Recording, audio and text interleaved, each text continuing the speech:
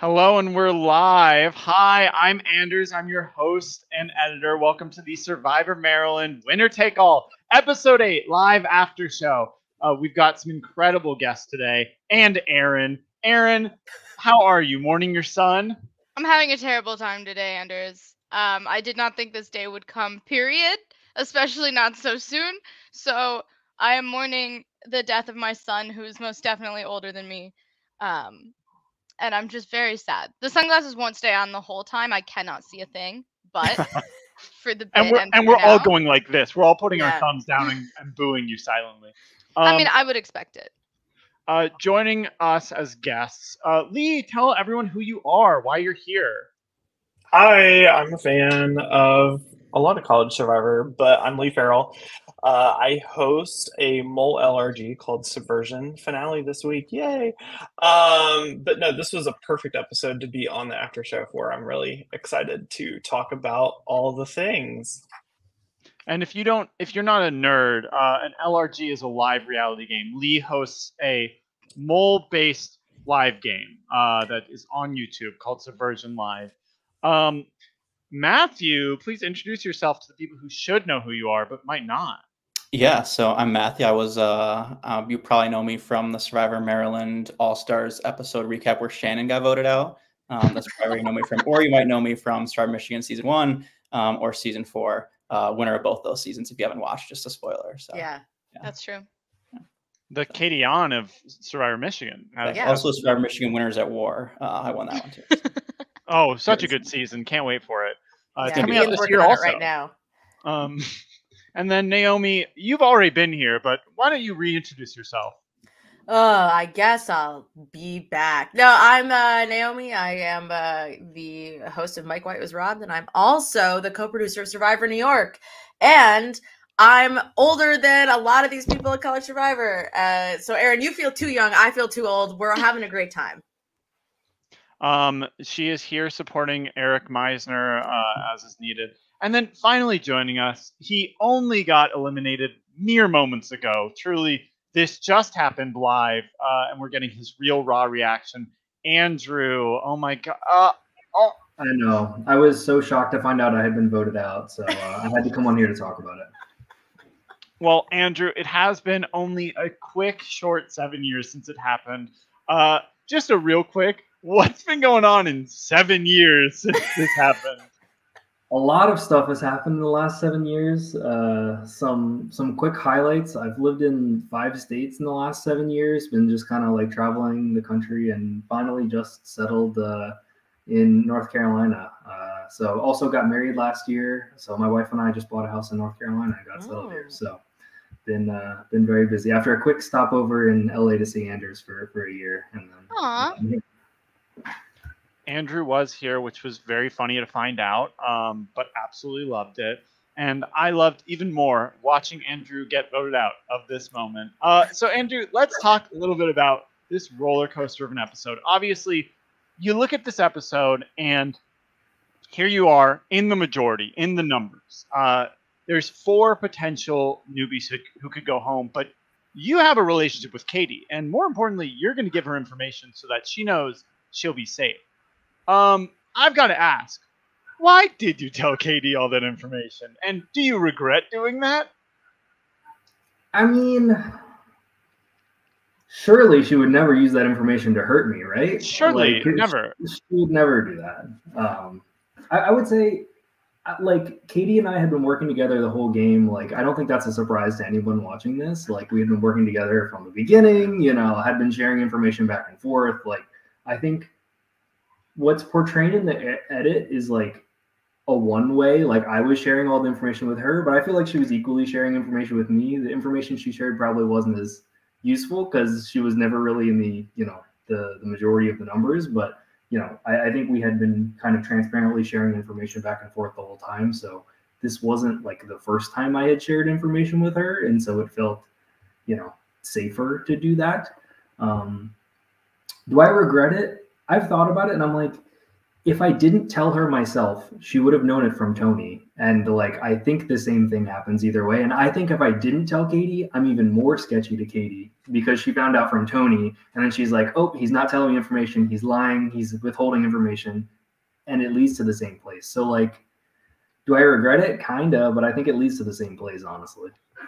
I mean, Katie, despite never being in the majority, has voted correctly all three times. Uh, so good for her. I I do have to wonder a little bit. So last season, we see the two roommates and their friend dominate the game, control all the vote. They may not all want to be doing the same things, but they do stay together. And this season, you're roommates with Tony. You're both friends with Katie. Your relationships aren't quite as known in that same way, but almost every moment you can, you guys are throwing each other under the bus in some way, trying to at least, oh, you know, us two, when are we going to get rid of Katie? Or, you know, Tony was saying all the returners are together um, or Tony saying, "Well, you can't really trust Andrew." Why was that? What was sort of the reasoning behind you and Tony and Katie all sort of not being this tight, cohesive three?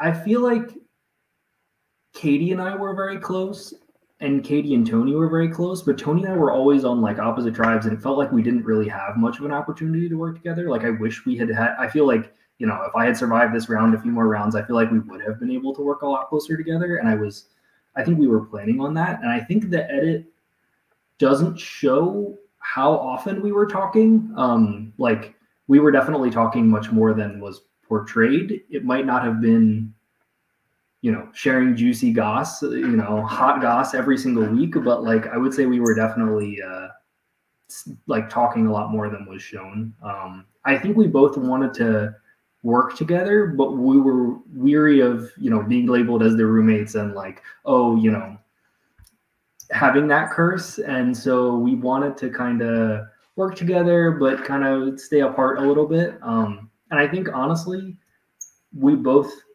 knew how competitive each other were and that if it was convenient for the other one, like you'd probably get dropped as kind of we saw. So like ultimately it wasn't a huge shock for me either. And like we never really went in to the game saying like, oh, we're gonna work together, final two. Like we never really went in with that mindset. So I don't know. I feel like I could trust Tony, but not completely, if that makes sense. Yeah, and I think that's fair. I don't think you could. Um, looking back to a few weeks earlier with the Winnick vote, obviously you voted out Winnick, uh, and that created a little bit of a rift with you and the other newbies. Uh, not enough that they didn't trust you, but it did start what would then continue. So, looking back to that vote, to that moment where Katie pulls you aside as you're literally walking in and says, "We're voting Winnick." Um, knowing what you know now, would you have still voted out Winnick, or would you have tried to keep the newbie strong? Yeah, is Winnick the most important person in the entire season? Be honest. Be honest. Winnick has to be, you know, the most crucial, pivotal, uh, intelligent character of the entire season. Mm-hmm. Um, I As think is noted. Best Yes. strategist. the best, the world's best strategist. Um, Yeah, he he just got nominated for an LRG award. Did you see? he, uh, my favorite Winnick quote was it wasn't shown that much, but the amount of times he said during that vote where he got voted out was "send him home sad." Um, like he said that a lot of times about like Dylan or Doug. He's like, I don't care which one, we just got to send him home sad. Um, anyway, I I think. I mean, in retrospect, Katie, like you know, as as you said, Anders, like as we were walking in, she like bumps me and is like, "It's Winnick," and I'm like, I didn't even know the context of like who she had flipped. Like I didn't know any of those things. She just said it's Winnick, and I was like, all right. Like my closest ally in this game says it's Winnick. Like clearly it must be Winnick. And if I had thought it through better, I would not have voted that way. Like in retrospect, probably not my smartest move. Um, ultimately, I don't think it mattered. Like when it was going home either way, whether I voted with them or not, like it didn't really matter. But I think it did alienate Fish and Michaela specifically for no real good reason. Um, like it just was really an unnecessary strain on those relationships. Um, the other thing that wasn't really shown in that episode was like Winnick, in his brilliance, uh, decided that we had the votes. Dylan and Doug were the only ones who could possibly be going that night. So we had Katie and we had Morgan who were voting for people, and we were supposed to split the votes for Dylan and Doug, which like we didn't have enough votes to split. Like it made no sense. I was supposed to be voting for Dylan that night, so like it would have been even more ridiculous in hindsight to see me vote for Dylan and be like the one weird lone vote for Dylan as everyone was voting for Doug. Like that whole vote was just like screwed from the beginning because yeah, it was just not a good plan. Because you So- guys tried to force the newbies in Yeah. return. Does that answer your question? Kind of, sort of. Yeah, yeah, yeah. I and well, that follows up to the next week, or not the next week. Sorry, specifically not the next week. There was no mutiny because Mike went home. But after that, we have the whole mutiny question, and you have this close relationship with Katie. You're supposedly in this group with the Girls Alliance that didn't vote together, um, and you have to consider: Do I flip to the other side where I know I'm for sure in the minority? You have Tony, but you're not sure about anything else. And then that week, you also vote out Jess. Looking at both those moments, what were the big criteria that you considered, and what do you have any regrets on that? Do you wish you didn't do them? Do you wish you tried something different? What are your thoughts? I think, think the mutiny decision, knowing, that like knowing. Hello, sorry, I think my internet is like cutting out or something. Um, can you guys hear me? Yeah, yes, we can hear you. Okay. Yeah, so I would say the mutiny decision, it seemed like Fish had already been convinced that that was the direction he was going to go, that he was going to switch over. So, you know, knowing Fish was going to be over, it was going to be a five to three kind of thing. And I thought being in that minor- minority was worse for my game than, like, I thought it would be, you know, I knew I was going to be in a five to four mi- minority either way. You know, it was either going to be the returners on my old tribe or you know, old Zimbabwe versus old Majesta on the new tribe. And I thought, you know, I had also been talking to JS and I had been talking to Tony, and I thought I had like a reasonable chance to survive a couple rounds on the other side, um, especially if we could win a couple uh, tribals or immunity, which obviously did not happen.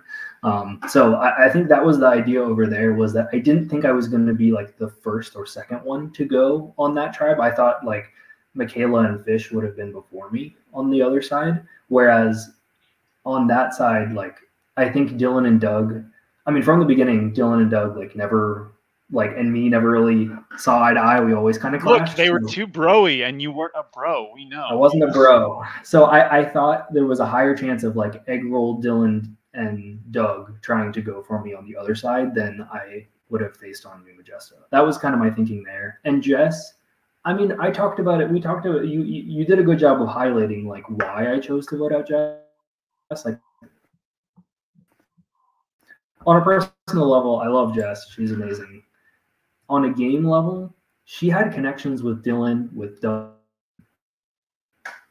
Yeah, Jess had connections with everybody: Dylan, Doug, Katie, Morgan. She was in on with all those people, and she, I just didn't think I was the closest person to her. But Um, Andrew, I just have to like um, the moment that so sticks in I my went mind about for it was between Sam and Jess, and to me, Sam was going to be more easily swayed in the direction that I would have wanted than Jess would have. The the moment that sticks in my mind about all of this is Sam did not even know your name and you weren't going to vote her out. Like did when that happened when you're at tribal council and the girl who's sitting right next to you goes you're number 1 did it consider did you consider at that moment like I should not keep this girl around. She will never vote with me because she doesn't know who I am. Well, she can't vote me out if she doesn't know my name, right? And yet, I guess that's true. But if she wrote number one on a piece of paper, I guess I'd still count it. yeah, it was. Uh, yeah, Sam is just such a character. Sam is just so funny. Like she's just hilarious, and, and in person she's like even funnier. She just like says and does random shit that is just like so funny. Ugh, love Sam. So I mean, yeah, I felt like I didn't have a relationship with her, but I felt like she she was gonna do her own thing, and she was like very much working with uh uh like JS and Tony and all them. Like I felt like he, she was gonna I don't know. I, maybe it wasn't the best decision, but I, I, felt like Sam was at least gonna not go behind people's back and like do her own thing. Whereas I thought Jess had a much more ability to do that because she was so connect so well connected and she could kind of go any direction she wanted. If that Mo- makes One final question from me before we turn it over to anyone else, specifically your mother, about this. Um, with the whole vote situation, with the vote being Morgan, were you telling Katie this information just to assuade her fears and be like, you're safe? Or were you doing that with the intent of an idol being played? Because, I mean, spoilers on this, I don't think you knew that Dylan had the idol, but Tony did by that point at least. Yeah. Yeah, I mean I didn't I didn't know that Dylan had one. I thought there was a chance that Dylan or Doug had one, but I I was pretty confident that if Dylan had one, he would have played it in the Winnick vote because he was so spooked and he was getting thrown around so much. So I thought somebody by the Winnick vote had found one, and that if Dylan or Doug had it, either of them would use it that night because they both were so in danger. So I didn't know who had it, and I didn't I didn't think it was likely that Morgan had it. And I thought it was even less likely that somebody was going to give one to Morgan, which obviously turned out to happen. Um, and if I was in Dylan's shoes, I probably also would have given it to Morgan so that I wouldn't have been down eight to four. So, you know, good play on his part. But I, I as he describes with Winnick, there's no fucking chance I would have given my idol to Winnick. So I, I kind of thought Morgan was going to be in a similar boat of like, I, I just wouldn't waste my idol on Morgan. Not that, you know, it's a waste on her, but I just didn't think he was going to play it for anybody else besides like himself or maybe Katie, you know. So that that I just didn't see that happening. Um, but like, okay, I know if, even if I knew Dylan had an idol, then what, right? Like, I, I guess I could have not told Katie. Tony would have told Katie anyway, and then I just look sketchier, like I said, right? Like that I was being cagey and that I wasn't giving Katie all the information, and then you know she votes my. But so, what was the original intention of telling Katie the information? Just so she had it?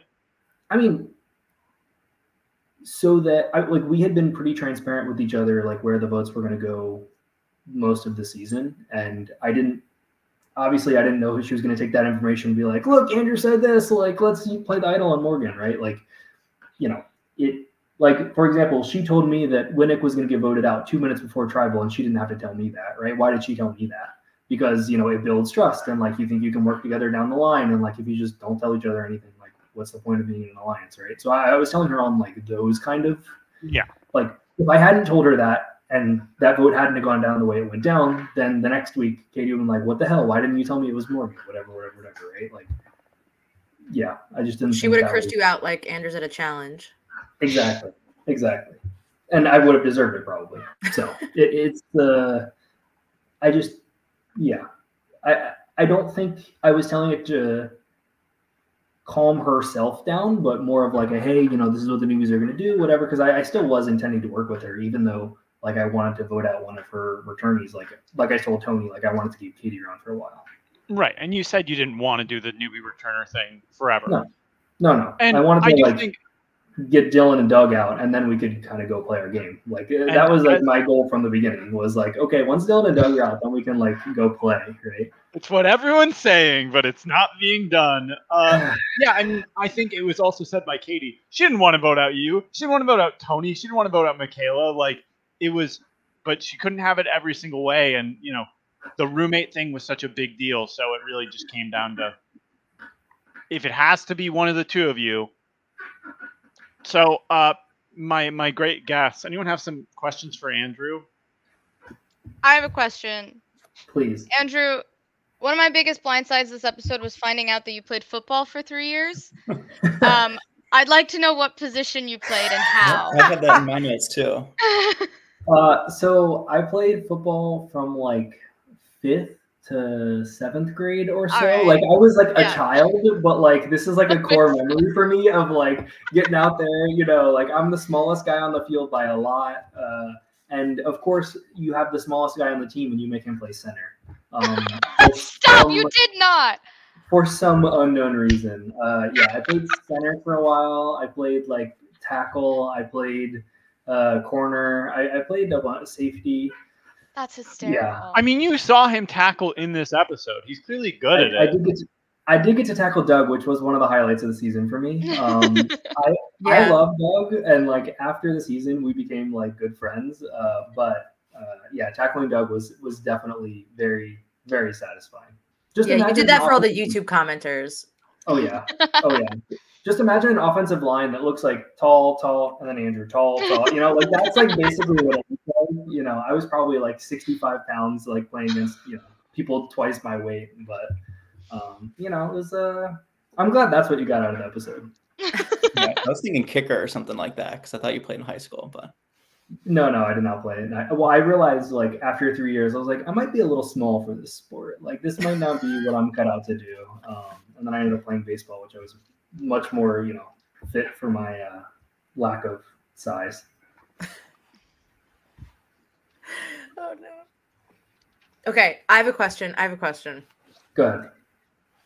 Where was your Survivor Maryland uh fandom at coming into a season that's like, you know, has returners because I thought you played so well with Katie and with the idea of being sort of in the middle versus staunchly putting your flag in one camp. Were you a big fan and you knew what people were capable of, or were you just like, well, I'm not going to cut off everybody? Uh, so I watched Survivor a bunch as a kid. Um, so I knew pretty well like Survivor stuff. Um, I hadn't watched it in year. I still haven't watched it in years, but like as a kid, I, I watched it a bunch. Um, I had watched seasons two, three, and four.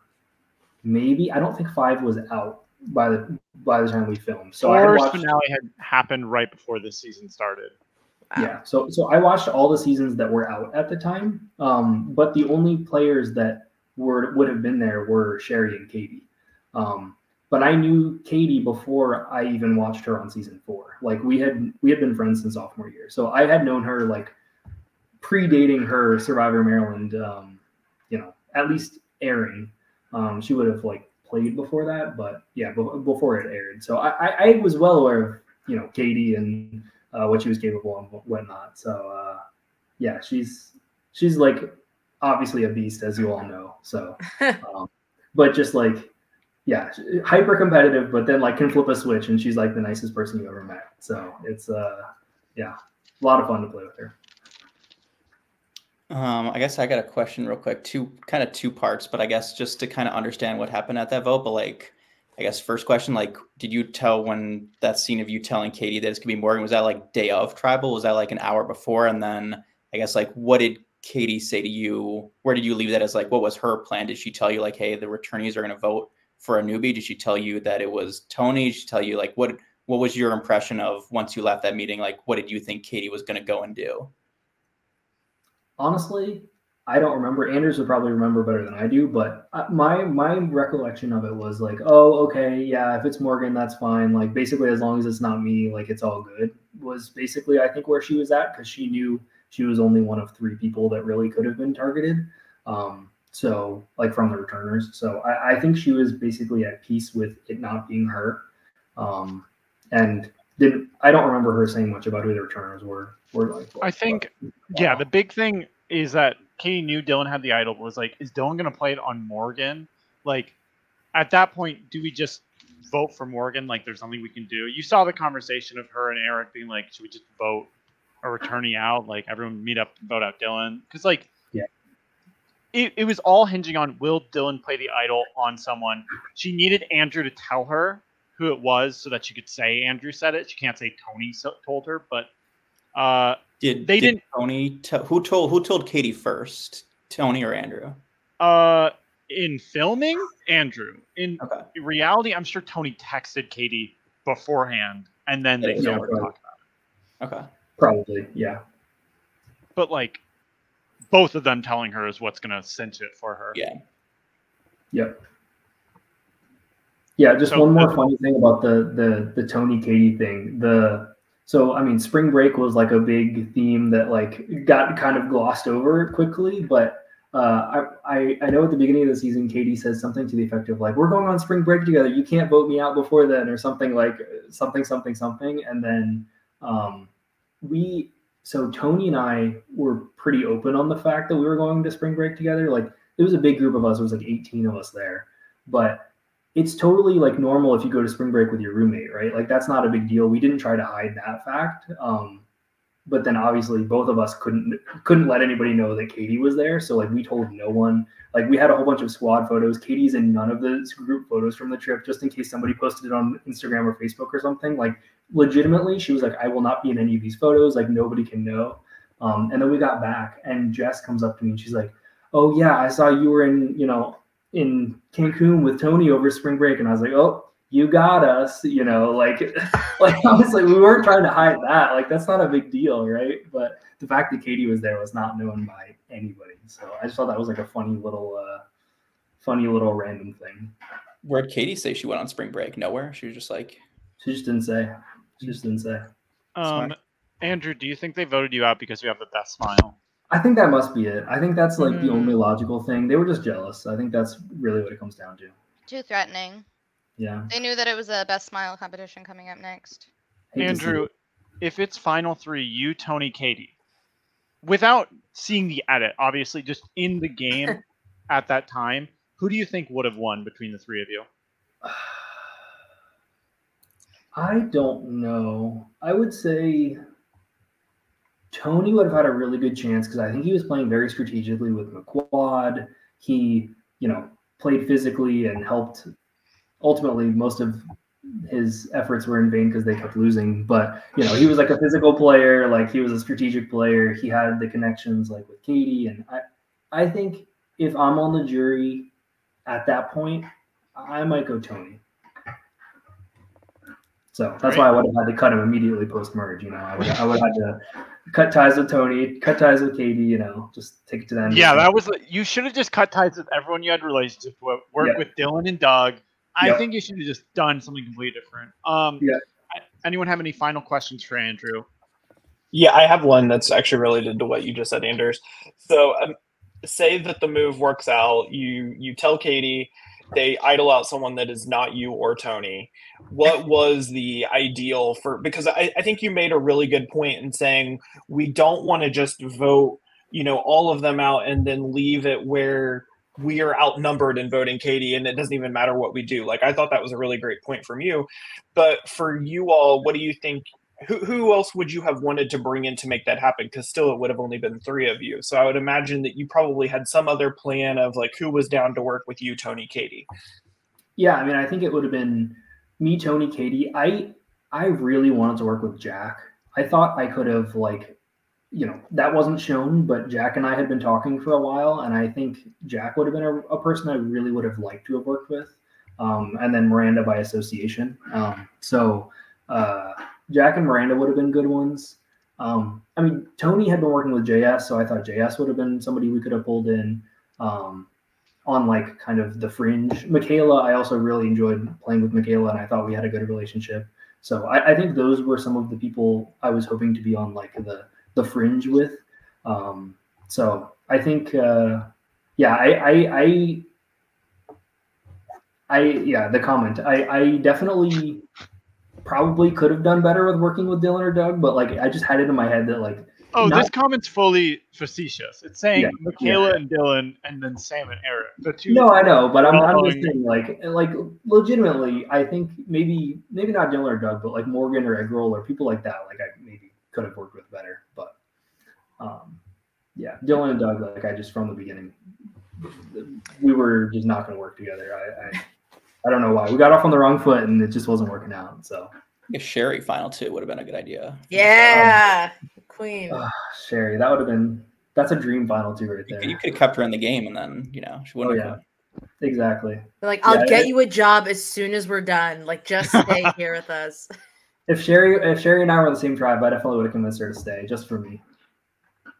and Um, then, oh, go ahead, Naomi. Oh, I just have I just have a question. I'm dying to know the vibe of like this eight person mutiny tribe conversation where you're all like, yeah, so we're going into the merge, we're all gonna work together and it's gonna be awesome. Let's all vote for the same person. Like, how are you feeling as a survivor fan? Are you like, I don't know if I should go along with this? Like, I'm curious how much trepidation versus like enthusiasm you had for that group of eight.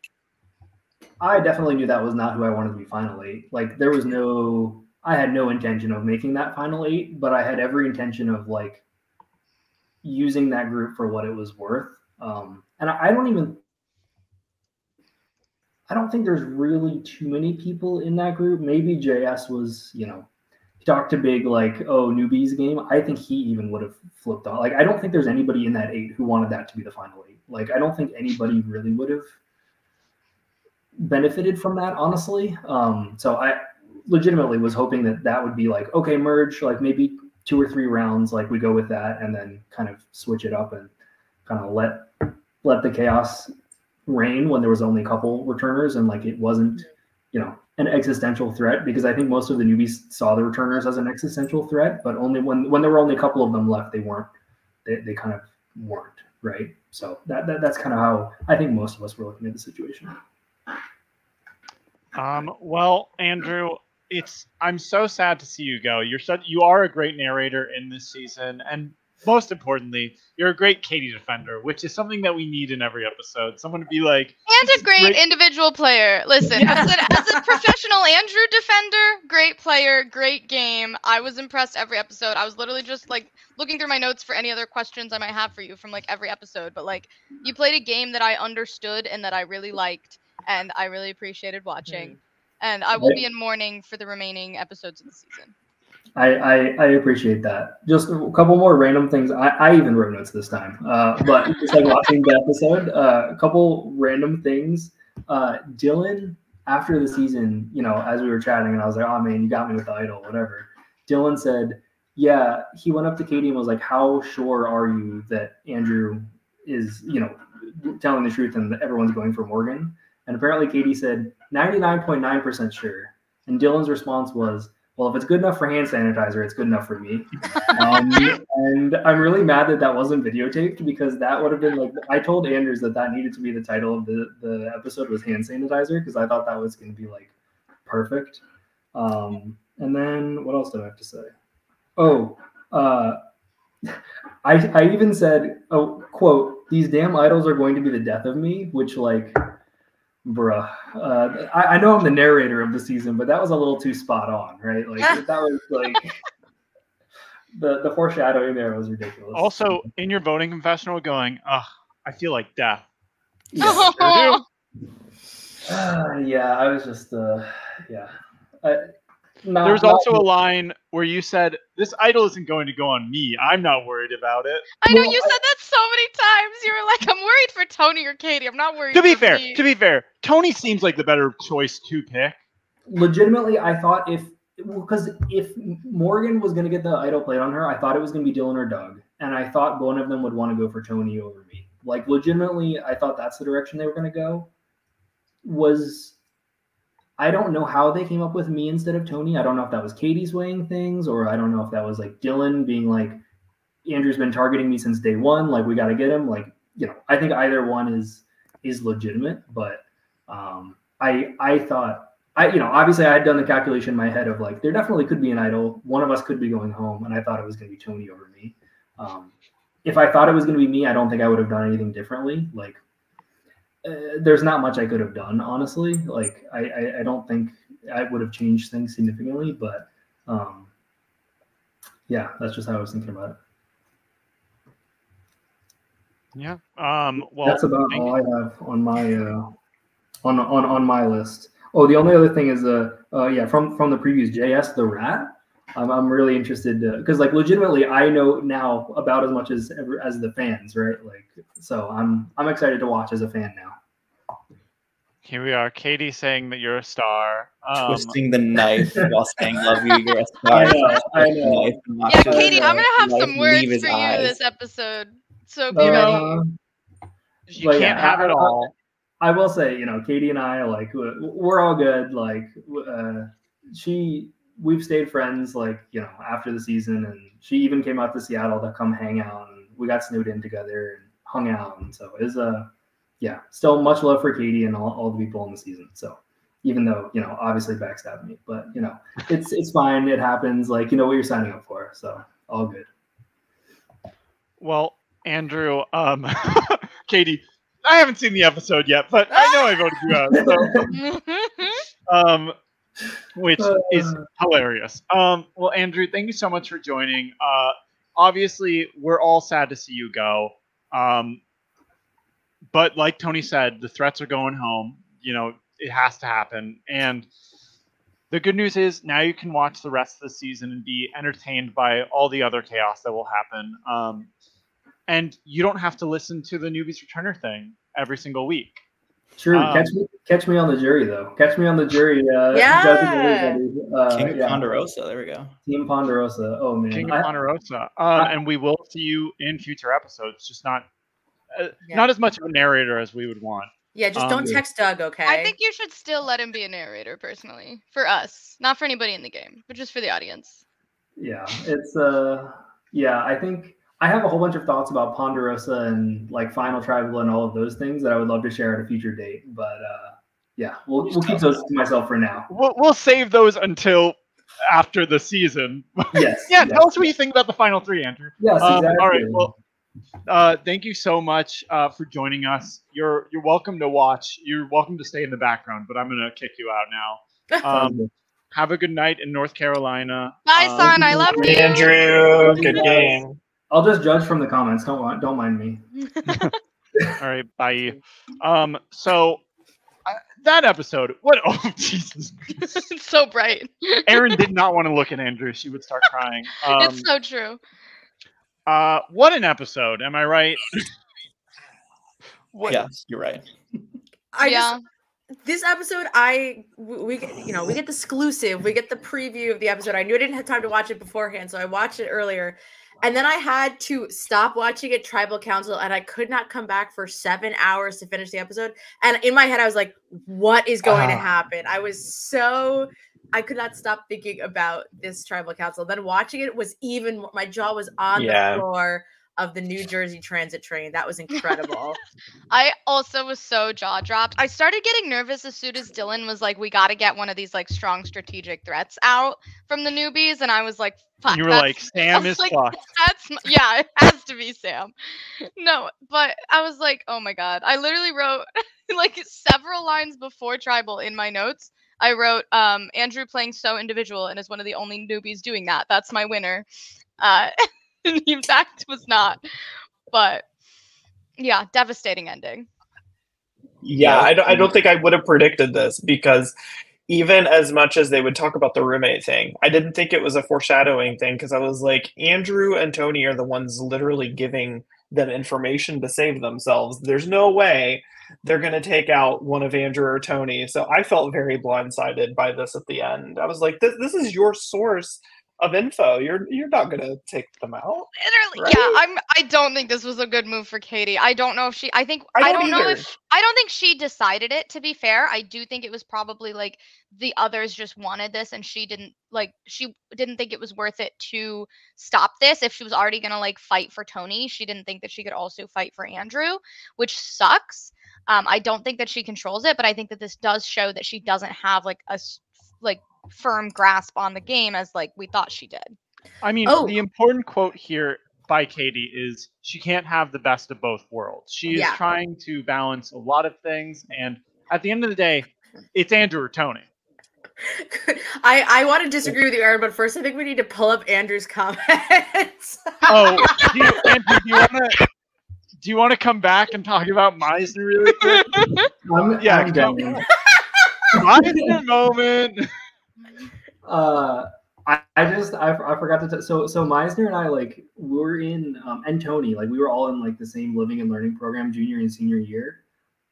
He's like legitimately a crazy person. Like legitimately like is is nuts. Uh my my like just outside of him just like being manic and crazy, my favorite Meisner moment was uh one of my other roommates, not Tony, was driving. We have like a big hill on campus. Um and one of my roommates was driving up the hill and I'm riding shotgun. And Meisner sees us and he's like, yo, he's on his bike riding down the road. And he's like, yo, can you guys give me a lift up the hill? And so he grabs onto the side of the car and we just like bring him up the hill. this man has no helmet, nothing. And he's just like holding on for dear life up the hill. And he's like, he's like, yeah, yeah, we're good. And just like lifts off and like shoots himself forward. And we're like, all right, bye Eric, we'll see you later. Um, yeah, legitimately a crazy person. So just like seeing him, you know, try to strip naked and like fight somebody in that challenge was just like par for the course for Meisner. So yeah. Anyway, I I, I forgot I was going to tell that story. So yes. Thank you for that. better with your uh, for with your recruiting there, Anders. Make sure that they're like uh, you know sane. What do you- I- psyche guys. Uh, I do not regret casting Meisner. Are you joking? He stripped and followed Micah. What more do I want from him? And he quit Whoa. before Faith got voted out. You know what? I'm fine That's so with true, and he's a real one for that. that. Um, so yeah, I wouldn't cast more than one Meisner, but I'll take at least one. All right, thank you, Oh, Andrew, for the yeah, Meisner. who, who, who? Yeah. Anyway, sorry. I'll go back into the comments. Bye. Back to the Back, back to the void. what a Um, king! Okay, Erin, you're wrong. You're wrong. Okay. Whoa, whoa. Okay, let's go No, now. it's okay. Sorry. I just before I go after Erin, I just want to say, Cooper, go fuck yourself. Team Eric Yep. till till forever. Um, Real. so I think that with this is actually not the worst thing in the world for Katie. Now, ideally, Katie gets out a non-ally, but at the same time, if somebody finds out how close her, Tony, and Andrew are, or realizes that she's stumping for Tony and Andrew really hard, I think that with this idol play and with the returners being in such a difficult position, you can't risk alienating the four other people who are working in your interest just to protect your future interests. If that makes sense. Like, I think if you go too hard for both Tony and Andrew, you risk everybody realizing that those two are like really, really important to your game. I And did say point- that. To be fair, I did better say that. I just Oh, don't think that it was a good. I Isn't- just don't think she should have let him go because what? Like, yeah, those. Those I are. I. I agree. She shouldn't have to like. She shouldn't go that hard to like look out for two of the newbies. But those are also the two newbies that are looking out for her. She doesn't have Michaela anymore. Michaela does not trust her anymore. Jess is gone. Like those are the only people on the other side that would have been looking out for her. And Why now can't she just only let Morgan go?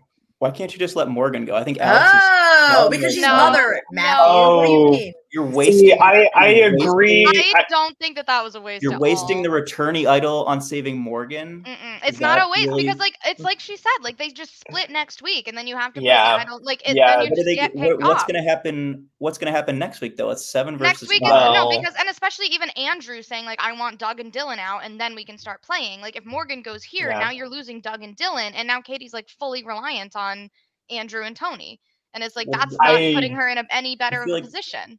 Aren't they screwed next week? They don't have an idol, and they've just solidified that. Like JS has been saying, the returnees are so tight. They just proved it in front of everybody. I think the the one shot because like the but now they shot- know that there's a rat. Tony's not gonna Yeah, own up to it. that's the Nobody's gonna one shot. suspect Tony of it. that that And that's now- kind of like it it's an unintended consequence i think that there's a little bit there's going to be a little discord over who told I, I personally think I agree with Erin. I feel like Andrew was not the move here because if you're getting that information from Andrew and Tony, you know what? If they're looking to make moves, maybe they're looking to make another move because, like you said, they are in the minority still. So they now are in the minority without an idol. But if you have both Andrew and Tony who have already been feeding information, maybe you can pull them into a de- another move.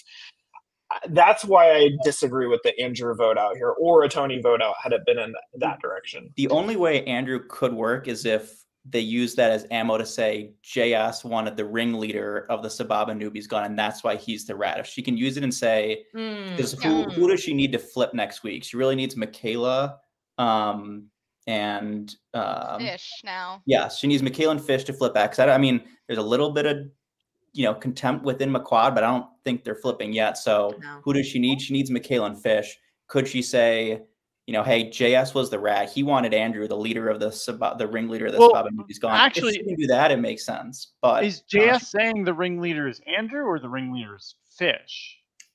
I thought it implied Andrew, but I, you you would know more than me. So Well, uh, to be fair, I don't fully know if he was even being serious, but he references like the person who got them all to flip, and Fish is the one credited with that. Yeah, that was fish. Yeah.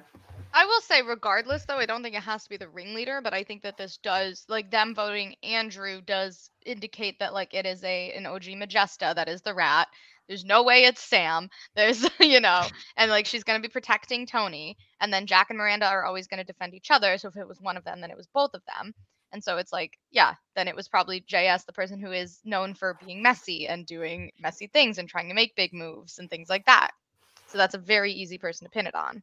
And is that going to be enough, though, to get and Fish to say, oh, all right, we'll go work with this tight group of five returnees where, you know, we clearly have, you know, where we're clearly on the bottom. Like they're kind of in. We can hope. They're on the bottom of two group. Yeah, yeah. They're on the bottom of two groups of five, seemingly. Though I think the returnee group of five is somewhat less together than McQuad, even because I don't think that returning five wants to go final five. They The just creepy crawlers. The creepy crawlers, yeah. Thank you.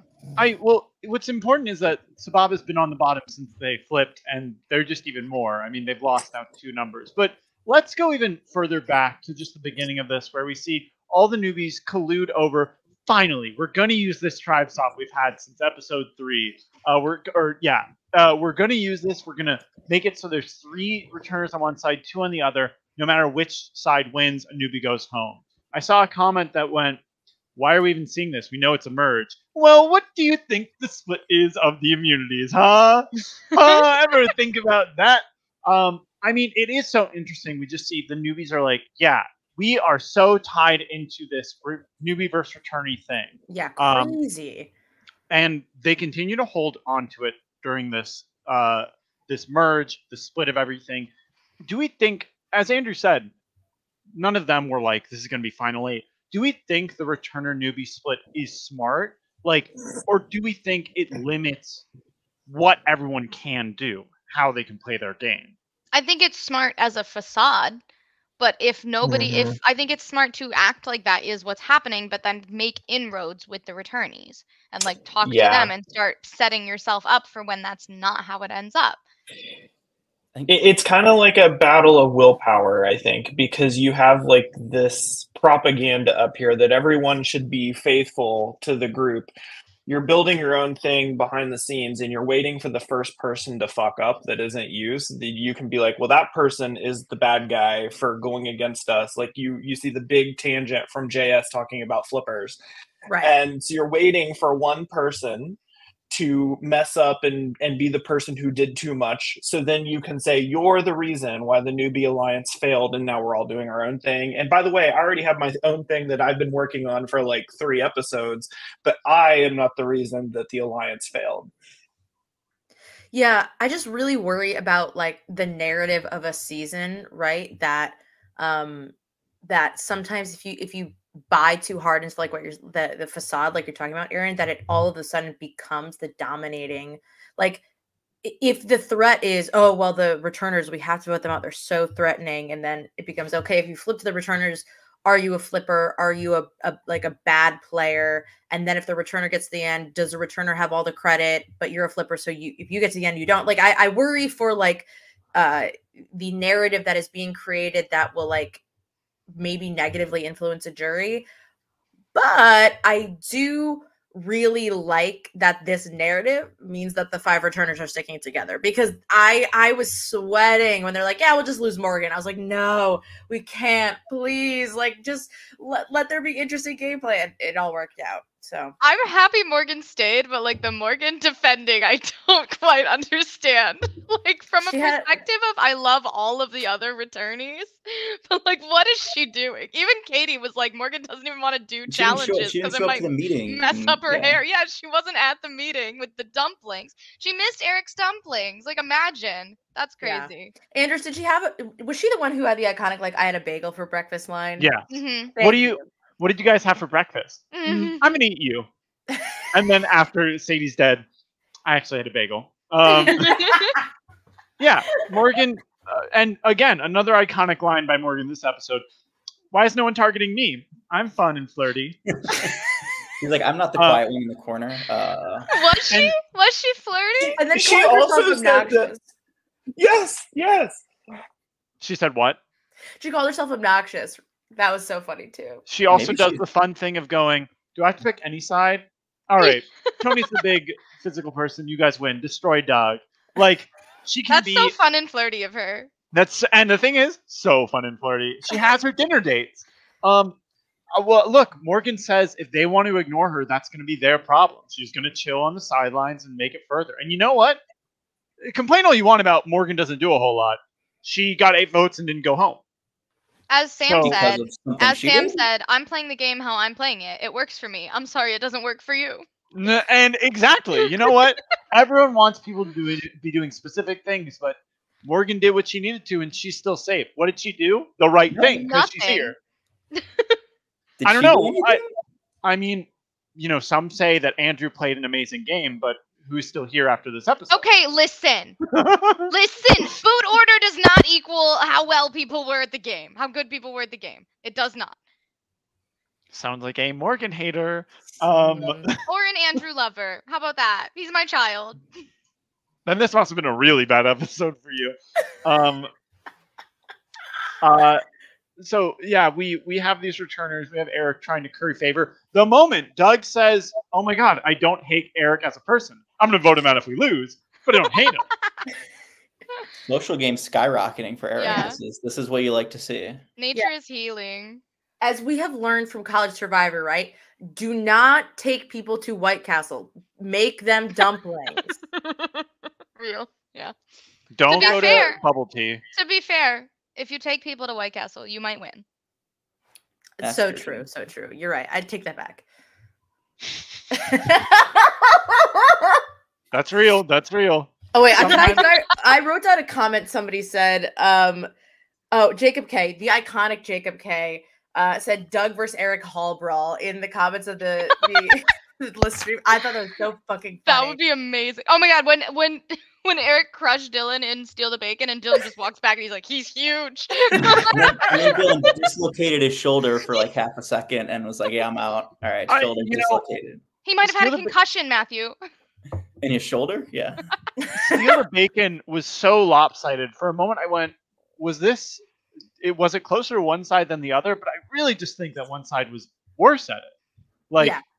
I I mean, when you have egg roll, it's a cheat code. Like you're just gonna win every round he's in.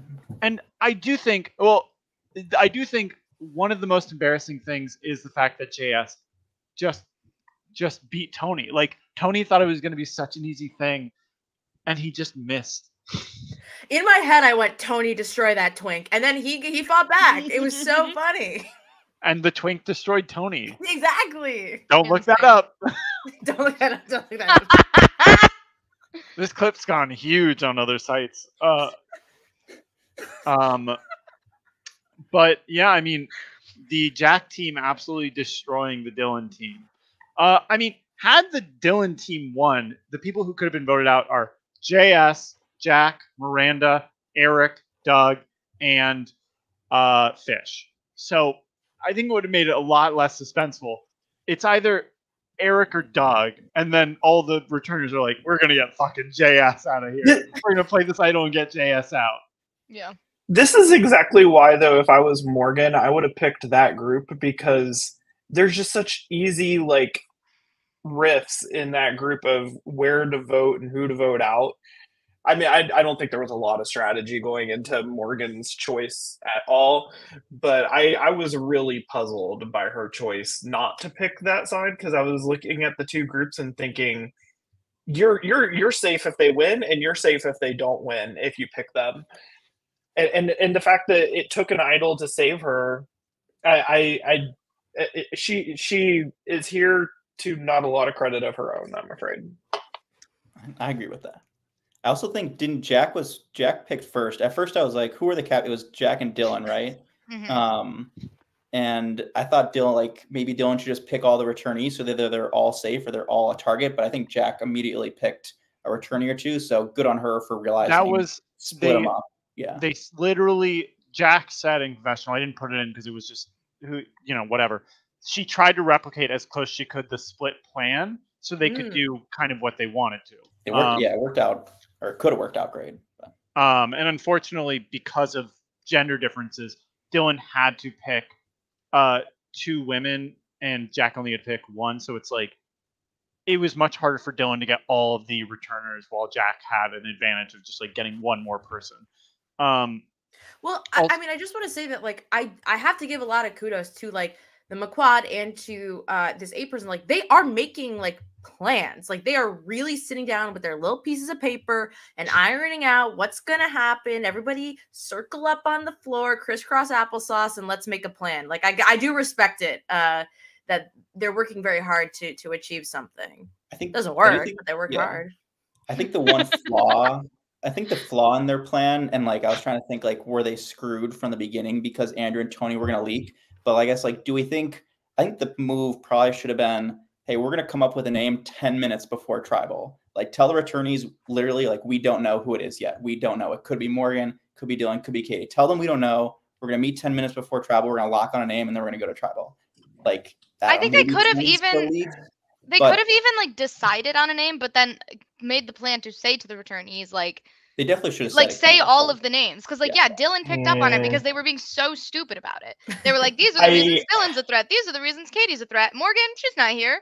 It's like yeah, so of course they're gonna be fucking voting Morgan. It's Edgardo. Like it's so easy. Yeah, I, I think I think the, the hard the hard thing I would see though with that is you could see like a true battle of like people wanting to just get their way. I think there was a moment for sure when we see Andrew and JS talking about why don't you just go for Dylan? Why why are we going for Morgan? We should not be wasting that. And so I feel like getting everyone to agree that we can go for one last minute was hard enough when you had people definitely wanting to control the vote of those eight votes and and make sure that they had that locked in and you you could see that which made me think this eight is not going to be very strong together I mean, they did in the end. They did all agree on Morgan, and I think it Yeah. was the smart plan. But it was almost like so smart that it was obvious. Like, Right. it's you're thinking I if you're the returnees, like, hmm, if the newbies are smart, they would do Morgan. Okay, so they're gonna do Morgan. Like, I think the like issue was- yeah, is that the the name itself, like they may not all, they may have decided, oh, we're gonna, and they did have a meeting right before the the vote to decide, are we really doing this? At the end of the day, they're not coming into that discussion without a name in mind, and Andrew and Tony were going to be aligned on that fact. It wasn't going to be Katie, so then it's Dylan or Morgan, and the information's going to be set, and they have phones. Like the issue Yeah. here is like. If they're gonna tell Katie, they're gonna tell Katie, Yeah. whether or not think the name was. is Yeah, I think the plan. as you've seen already. Yeah, they can do it walking in. Like, and Dylan will look behind Fish and go, "Is it me? Is it me?" Um, but yeah, I. Kate doesn't understand either. Um, that was to the I think I don't understand why Katie let Mhm. Andrew leave. yeah, uh, I guess we'll have to wait till next episode maybe to fully understand her thinking. Um, Katie's just saying that because she doesn't want my smoke. I think well, she can Dylan- get it next episode. Um, Dylan definitely Look- could have said like, "I'm the one with the idol. Like, I deserve a little more of a say here in who goes home." And you know, if that was right before tribal, maybe Kate just didn't have time to put up a stand and try to save Andrew, and just had to go with the plan. So Yeah. I can't wait for the flashback. and there is one um spoiler uh well we also see we finally get some moments from people like doug people like eric we get a moment from each returner trying to do something when they're up against this eight um uh uh we'll, we'll get to that katie we'll get to erin critiquing your game but we have doug here trying to make inroads trying to start playing socially we get him and js starting to work together uh, when your two faves get together. Uh, Erin, how do you feel about Doug's game? I mean, you know I love Doug. So saying your two faves like that is not true for me. Um, I'm a big Doug stan, Doctor Doug. Um, I honestly think like I don't, I don't think it's a bad idea for him. Honestly, like he needs to start building up avenues outside of the returnees, and I think that building it with somebody who is a big threat and is a big shield and is going to like be a target ahead of him. Doug does not have many targets ahead of him. So he needs as many as he can get. So like honestly, I don't think that it's the worst thing to like keep JS around a little while for Doug. I don't think that that's terrible. But I think that there's a difference between uh keeping somebody around as a shield and working with them. And I think that Hmm. Doug recognized that and knows that and he's like I don't trust this kid, but he's like making some good points, you know? I think, like you said, he's planting seeds, and at some Yeah, point, one of them's going to sprout. One of them's going to Yep. sprout, and somebody's going to come to him and be like, "Hey, work with us on a move and he's going to be, you know, in. So I think he had the right mindset and he hasn't picked a person yet. It's just keeping the door open and somebody's going to come to him and need his vote at some point, most likely. Yeah. So I think it's, I think it's pretty wise move. Yeah. And I don't even think he's like locked in. Like, I think he might want to bring JS a little bit. But yeah, like you said, Matthew, like he was planting seeds with like Fish and Jack and Miranda, who I think are all good players to be planting seeds with and to be like people yeah. that you know might be looking to like make a move in the future or do a little flip. So I think that yeah, I think that Doug played this episode great. And I think we're actually starting to see like Doug in mm. full force, which I'm very excited, which is always a fun thing to watch. And so that is something I'm very excited about. And JS was very real for saying that Doug deserved to win his season. Okay, no one oh. said let's attack Santi. No, I did love the Santi mention when he yeah, was Santi mentioned we were winning. Yeah, I did. I did write Santi mention question or exclamation Santi point. mention Michael cameo. Victoria cameo. Victoria cameo. cameo. Angie. Angie cameo. Angie mention slash Soka cameo. trio shout out. Yeah. Although Katie did say in the beginning, she was like, Soka trio pigeonholed themselves into working only with themselves.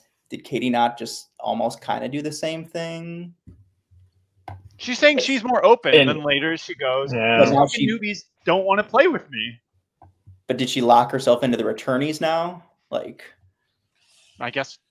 I mean, again, it wasn't all her decision. Like, usually most things are always Katie's decision. So yeah. I'm trying to give her the benefit of the doubt that, you know, she's just one out of five. So maybe she didn't control that vote, but, you know. All right. Uh, I, I, I think. Go ahead. Yes. Uh, I was just going to say, I, I, think one of the things that I really liked that Katie said is first of all, it, it's no secret that she is sitting there with this massive target that she can't do anything about based on her previous gameplay.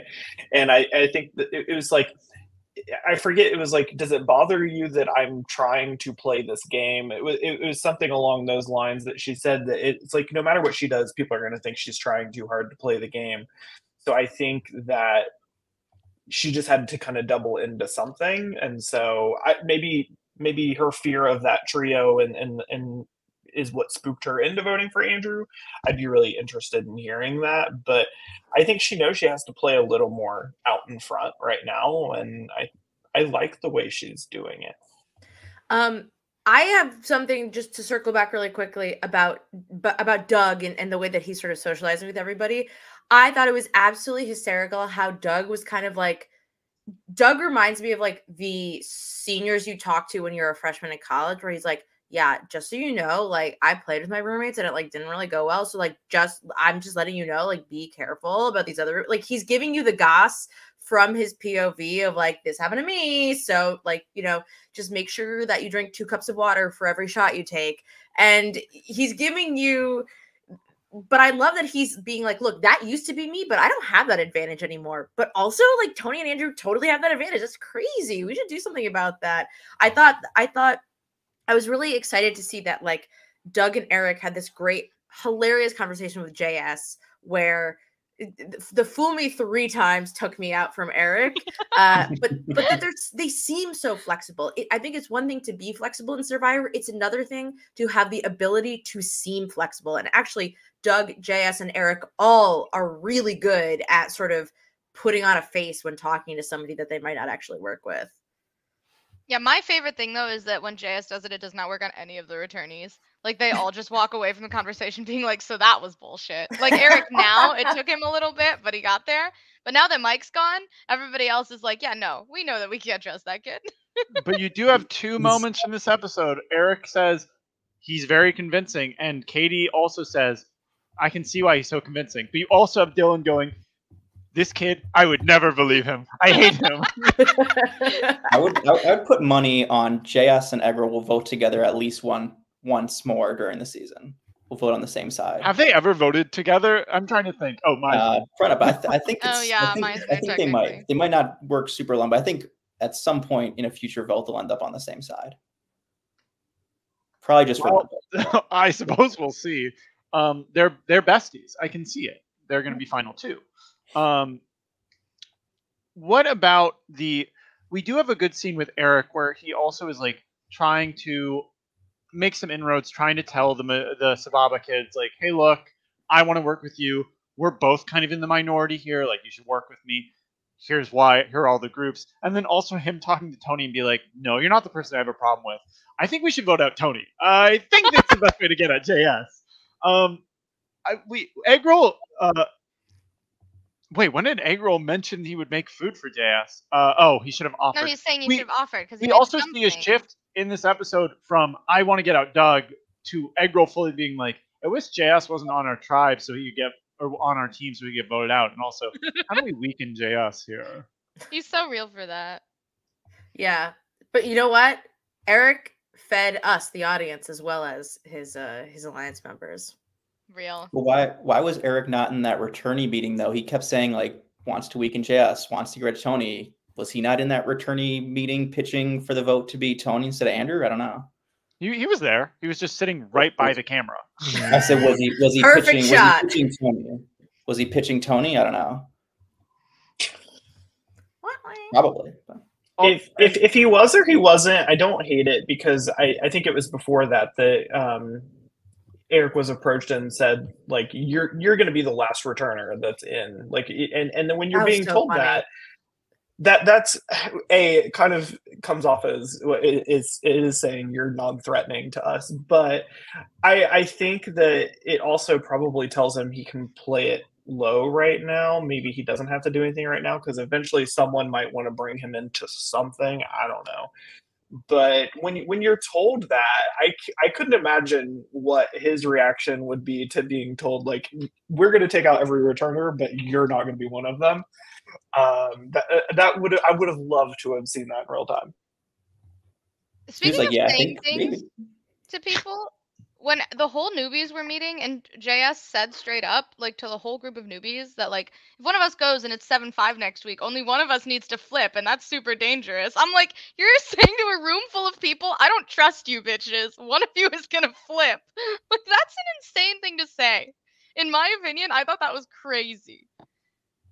and also I- here's how you do math Look, I, you need to explain it just so it's clear to everyone. Uh, also, a great moment is we see them a quad together again, and we have another scene, another moment of Jack being like, uh, "JS, I don't know about him. I'm not so sure. He's starting to piss me off." Uh, I but they're love- still, McQuad staying together. McQuad. Oh, that's that feels like the L seven weenie. I I, I just feel like L, you're eh, whatever. I'll, L7 weenie? Yeah, like, a if, like you're a square, you're a weenie, you're a loser. I think it's from the Sandlot. Whatever. I'm moving on.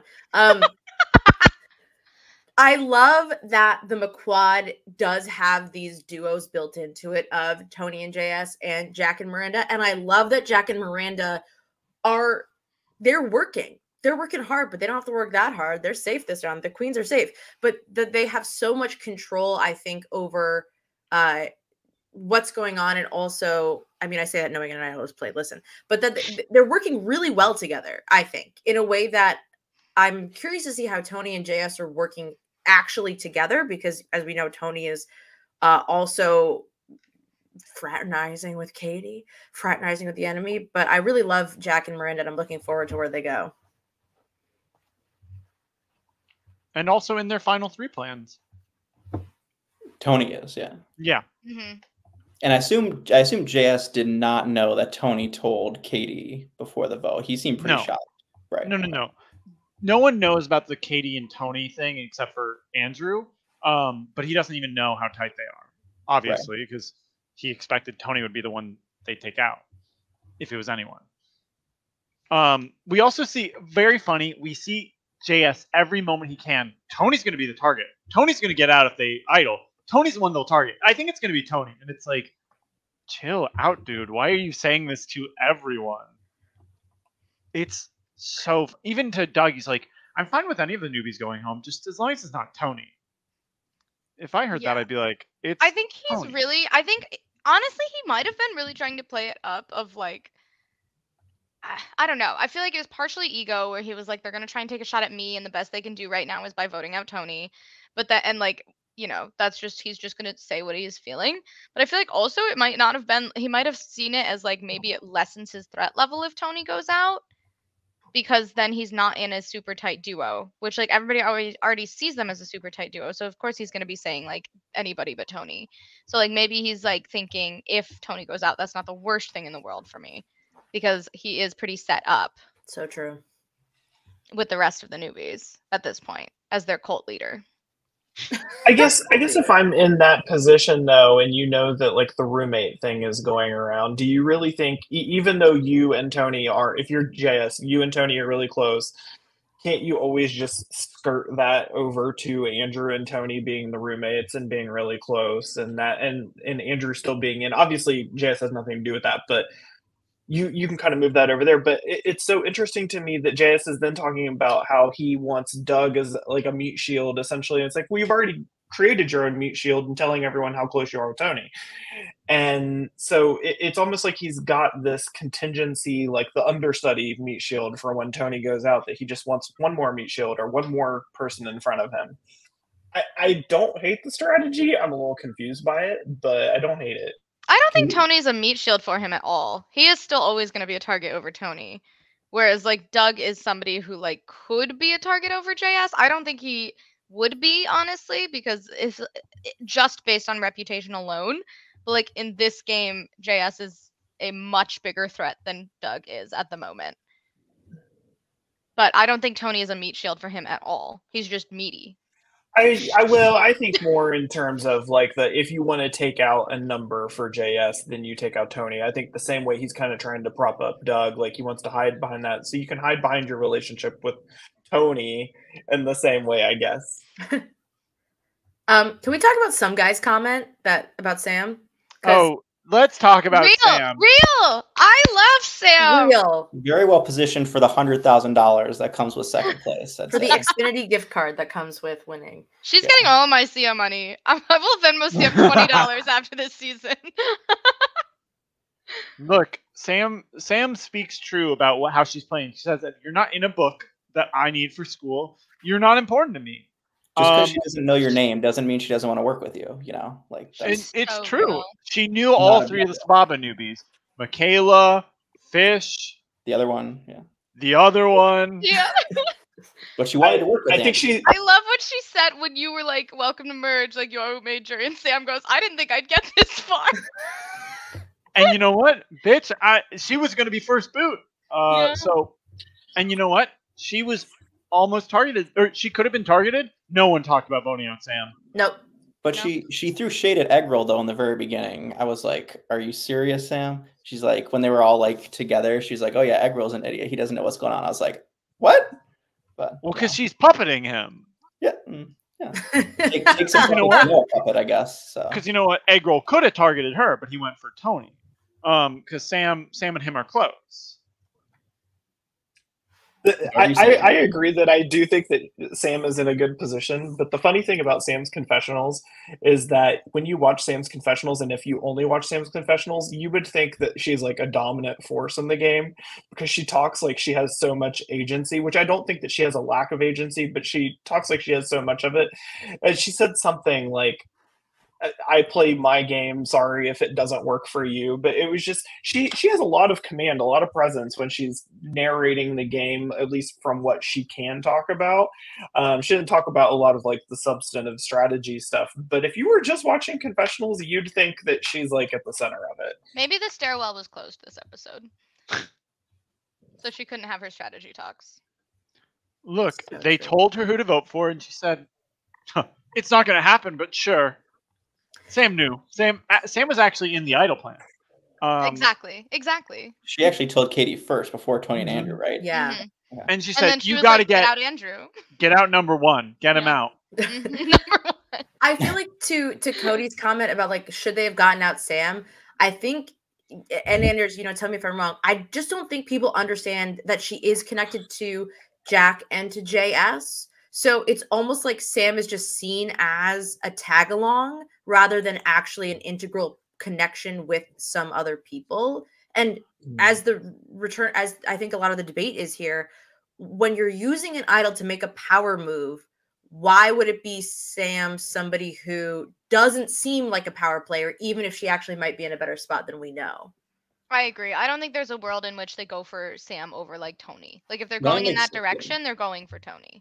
It maybe makes sense for Katie, but Katie's one of, and for the rest of the returnees, it doesn't make sense. So. Agreed. I think that would have made the most sense for Katie. But yeah, like Mhm. I think that would have been a hard pitch. Uh, I will I will say like there's no reason to target Sam. Yeah, you could get her out, but like in the current position she's in, she's not strategically valuable to get rid of. Like if she's not there, the seven are still going to meet as a seven. Whereas Andrew is more strategically capable, is more of a linchpin in dynamics. It's like Mhm. you have to get rid of Andrew or Tony because that is getting rid of a roommate threat. It's creating shifts in the dynamics. It weakens the newbies overall. Sam is, as you're saying, a tag along, but also like she is not important to that alliance in the same way that Tony or Andrew is. Like if Sam's not there, they just have one fewer vote. If Tony or Andrew aren't there, then you have to consider the larger game at hand and like, oh, does JS really have a power in McQuad or like are the Sababa newbies in danger? Sam leaves, they're all like, okay, now it's seven to five. But do you do you open up a seat at final tribal council if you get rid of Sam? Because is she kind of locked in as a goat at this point? Like maybe open up a seat for yourself if you take her out. I think that you, uh, Legend. uh, what you have to understand is that there's so much more of this game, and like True. if you're gonna make an idol play at this point, you don't necessarily want to do it on Sam. You're concerned about how do we five not go home next Mhm. week. But did Yeah, this did this help them not go home next week? Well, I think that's the question to ask. That's a great question. I do say I I, I don't would think it did. I would say that like Sam, Sam at least has it because also I, I'm thinking about Eric, of course, as Eric's number one defender. Uh, but I'm thinking like Sam is somebody who would actually talk to Eric. Like, and we we saw Eric go on his tour. Oh my god, him trying to pitch to Michaela was like watching somebody do a timeshare presentation a legal or something. pad, yeah. Oh my god. He used his Toastmasters out. but at least Sam is somebody he's had a conversation with before and who, for the most part, shoots straight when she talks to him, even if they're not working together. I think for someone like Eric, you don't want to get rid of Sam because she's an, a known factor versus even like a Tony or a, an Andrew and Michaela, certainly, who are unknown factors. Um, that's his POV. Uh, anyways, uh, you, what's up, guys? Someone else go. I also think I, I want to live say- in alternative. Oh, go ahead. I also will say, like, as silly and meany as it is, Michaela and Dylan is at least a relationship that does give information to each other. Sam and Eggroll is at least a relationship that gives to each other. Like Yeah. Andrew and Eggroll is not. Andrew and Tony or Andrew and Dylan and Doug isn't. Tony doesn't like. Tony's giving some, but not a lot. Like at the end of the day, if you're gonna get rid of one of the four of them, Michaela and Sam have positive relationships with people outside of Katie. So then it really is like Katie has to figure out uh, which one of those two she'd be willing to throw away for Dylan's bloodlust. Mhm. Yeah. Can we throw the Michaela comment up on the screen? Let's Woo, go, Michaela! She got. She has the legacy. Um, She- Yeah. She's in the most important position next week. She's she her and Fish kind of hold a lot of the power, and either one of them could make it six six. So Also, Michaela had screen time. She talked to She most did. of the returners. We Yeah. just didn't hear her perspective, which was, "We're voting out Morgan." um, press one to vote out. Press one to vote out Dylan. Press two to vote out Katie. Like these. Are I mean, the you didn't go. You didn't go Tony because Katie wasn't going to let that happen, but she It's was 'cause- more willing to let Andrew go, is what I assume. Eric did say we should go for Tony. It was ultimately not Eric's decision. It was what the five wanted to go to, and realistically, what Dylan wanted. Yeah. Um, so it could have been Tony. I think they just went. Yeah, I mean, look, Eric, we know why you wanted it to be Tony. Unfortunately, you didn't have the idol. and Andrew's not a bad move if they can really try to pin it on JS. Then I think it could make sense in hindsight. Right now, Yeah. little but if they really go hard as like JS wanted Andrew out, he was the rat. Just push that narrative to Fish and Michaela. Maybe you can bring him back to your side. So it could make sense if that's what ends up happening. I think. um, I think it. We we so the ending of this, we do see Andrew go home. We see the newbies fail. There's something so funny about Morgan once again being the merge vote or being the merge vote, and Dylan playing his idol again at merge. Like sometimes Lee, Lee made memes in the Discord that are so sounds funny. there's It so sounds like Katie's just gonna win again. Then that's what it sounds like to me. Well, it's so funny that all of these players like they come back, they want to have a different story, and it's not like they controlled it, but they have so many repeat things. Eric has a big moment at a tribal council that otherwise should kill him. Uh, and had he not had the immunity, But only makes him stronger. only makes him stronger. Um, Dylan has to play, finds an idol very early on, has to play it at merge. Morgan chills out, uh, not not controlling the game, but is certainly doing fine. Comes to merge, immediately targeted. Um, Doug's game is different. Katie has to play a lot harder. Um, Mike goes home, Faith goes home. But yes, it is very funny that Morgan and Dylan have the same situation happen again. Uh, do we think that does mean Katie wins yeah. and that Doug loses again? Oh my God! Wait, Uh, that'd be crazy. Okay, don't blame Doug for what Sadie did. Also, uh, is Doug the new Dane train? Ah! choo choo. This is this is his first tribal where he didn't get votes. Oh my God, King! Hmm. Oh my god. Can we Um, can we talk about Dylan for a second? Sorry, I don't think we've actually talked uh, uh, uh, properly Oh yes, about I yes. guess the guy who did the thing. Um, You- but I, was I was really impressed when that confessional came up, and I saw someone talked about it earlier. But like, where was that actually in the order of events? Because I think that will influence all of our opinions on how goaded Dylan was in this episode. Um. Okay. Uh. Let me think of. Okay. Yeah. This is the question. Was he lying? Like, did he already know? Um. So, by the time we did that confessional, Katie had already mentioned this. I don't remember if this is post though. Like, if they had actually made the move yet. Um. But I will say, like, he certainly had the inkling. It's just like he he was not going to play it on Morgan till Katie pushed him to do so. Right. Like Dylan, as was Mm. said by multiple people, he's selfish. He wants to keep the idol for himself. But he was suspect. Why are they telling me this information? Like, I don't know you. Why are you telling me it's me and that you want to keep me around? Who are you? Hi, nice to meet you. um, I'm not voting Morgan. Y- yes, literally. Yeah. Um, Morgan? Oh, who? No, we're not voting her. No, trust me. No, no, no, no. so I did he by the point he said it there, he did know, but like that didn't mean he was playing it on Morgan. Right. yeah. I know, yeah, it was the flashy thing to do, but is Dylan in a better spot next week because he played his idol this week? I think he would have had to play it next week if not, because then they So would have be had the safe numbers next week. split. Would be safe next week. Is he safe next week now? No. Not at all. No. I guess that's fair. For the TV, I wanted him to play it, but I was like, mm, sometimes being selfish is the right move. I But- also go back and forth on whether he I think he like the talking about like just giving it to Morgan to play for herself versus him playing it on her. Because I do think it's like yeah, there is part of it where it's like, okay, yeah, clear like you doing that, and then it's like clearly the returnees are a super tight five, but also they've been like forced into that Mhm. position. So it's like yeah, I don't know where I stand on that, but I think it does it doesn't change much, I guess. So I think it is better for him to do it so that it is still like his move and his idol. And I get wanting to like maintain that. But I mean, it was said. I that guess. Katie, Katie said to him, like, if you don't play it this week on Morgan, next week you'll play it on yourself, and then me or Doug goes home. right. So and then, that's- Dylan's not in, that doesn't put Dylan in a better position either. No. It's in the game. Yeah, mean, but like the what difference but then what is the difference between yeah, 10th and 11th? Like or like 11th and 12th at that But does point? he like, just like, need to like ride it out till one or two returnees go, and then he'll be He has made- I think he- Dylan- eventual- if he wants to, I think this is going to make Dylan start to have to make relationships with some of the newbies because the Yeah. only one he has right now is Michaela.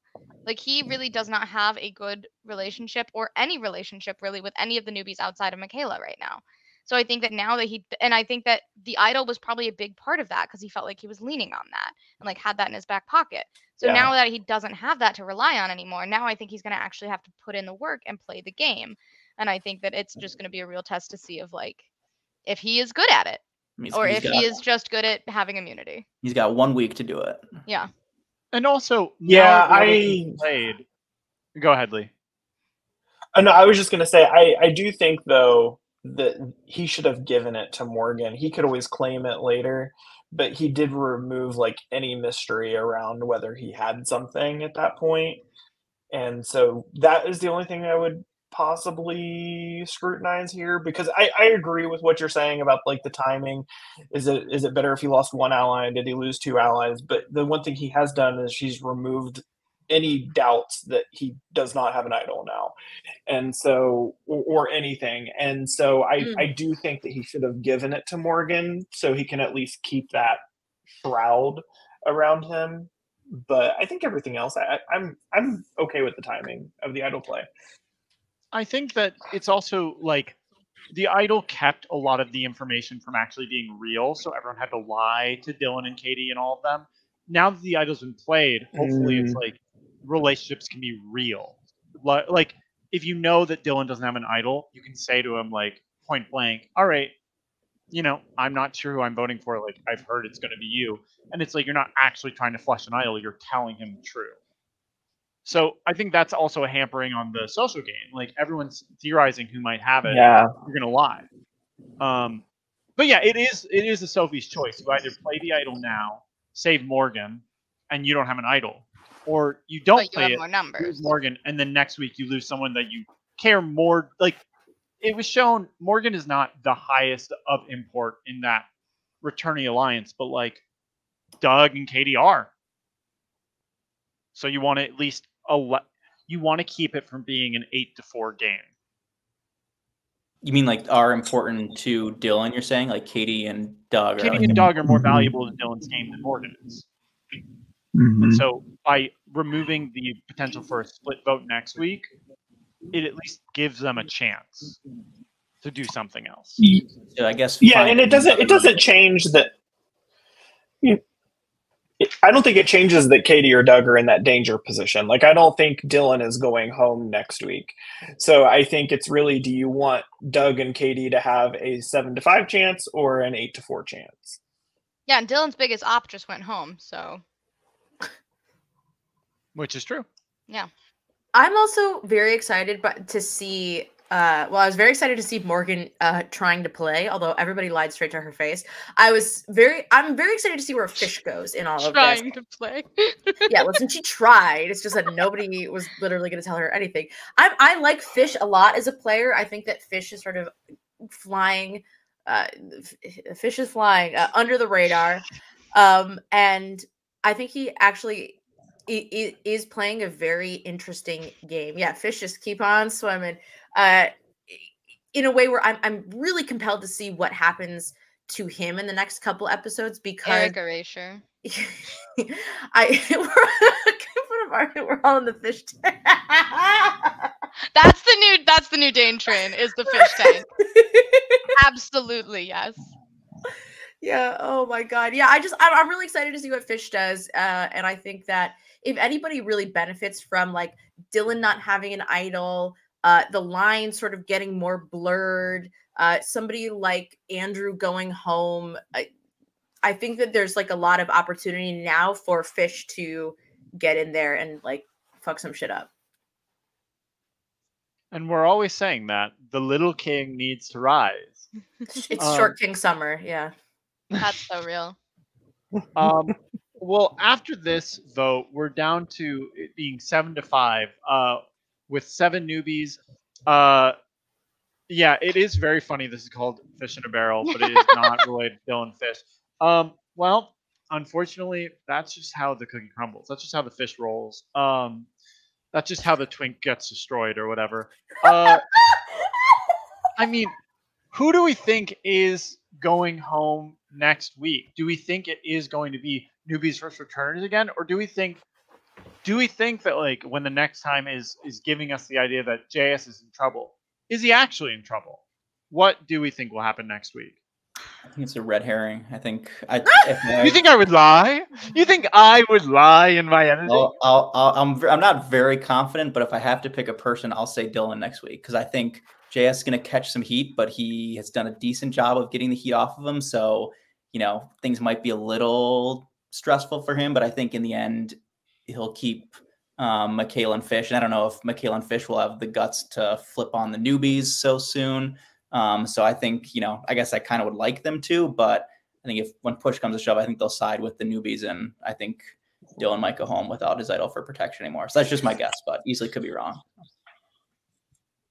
Yeah, I think unfortunately with this like power play by the returnees, it means that a returnee will be going home next week. Um, because I think that's just how they're going to look at it, unless they do a great job convincing the returnees that like or the newbies that you know one of you is a rat there's one of you that you can't trust. But at the same time if you're a newbie you're like okay there's one of us that i can't trust but there's five of you that i can't trust. So that i know that i can't trust and i know who it is. So i think it's going to be interesting and i don't think mcquad is ready to get rid of js yet. I don't know that that's in their best interest so mm. unfortunately i don't think it'll be him next week but no. I could I could also see it being a Dylan or if they're still were if they if everybody is like oh Doug got the merge idol which I'm sure that's going to be going around because you know Doug it could be I don't I don't think Tony will let it be Katie but he might get outvoted yeah but I think Katie yeah yeah Dylan or Katie would be my guess Lee what are you thinking?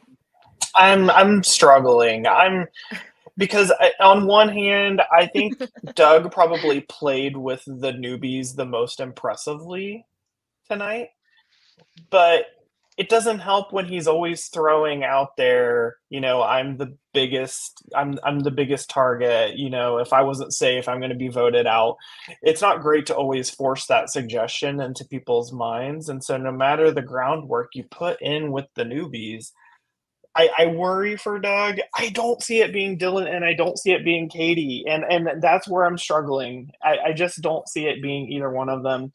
I, I don't want I, I and and it's it, I just want to see like something come out of nowhere and be like, wow, we didn't see this happening because I I'm this is uh, you talked about you can't have both worlds. Like I don't want it to be JS and I don't want it to be Dylan, Katie, or Doug. Well, there's no other choices.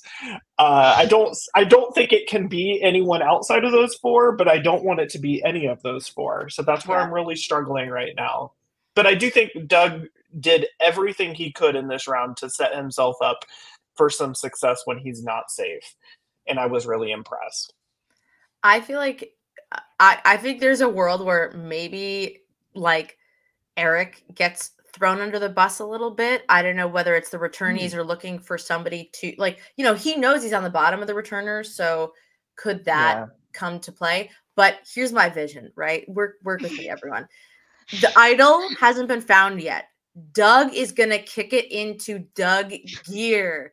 He is ready mm. to go. He needs to acquire. He, you know, he's gonna go on a treasure hunt. He's gonna get an idol and in a beautiful moment of how survivor can you know you can change over the course of a couple seasons he's going to play the idol on eric and save him and their bond they're going to be in each other's weddings like it's going to change everything i just i can feel it you know what if we just repeat this episode next week doug finds the idol the newbies say we're voting Dylan or Doug, and then actually they're voting Eric, and then Tony leaks to Katie that they're voting Eggroll, and then yeah. Doug plays the idol on Eggroll and they get out Tony. And then Tony goes up. Yeah, yeah. yeah. The same yeah. thing can't possibly happen twice, or Why not? can it? Let's just copy paste and you know you, change the font a little bit, and we'll have the same episode. It'll be great.